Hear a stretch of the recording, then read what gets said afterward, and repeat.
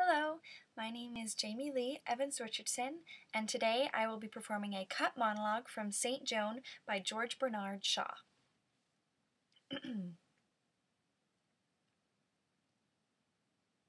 you promised me my life, but you lied.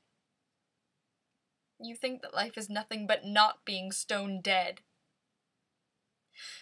It is not the bread and water I fear. Bread has no sorrow for me, and water no affliction,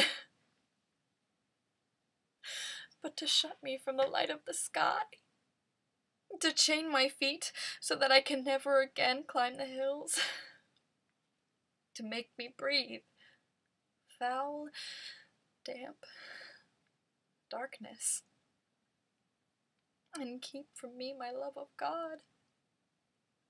While your wickedness and foolishness tempt me to hate him. I could do without my warhorse. If only I could still hear the wind in the trees and the blessed, blessed church bells that send my angel voices to me, floating on the wind. Without these things I cannot live.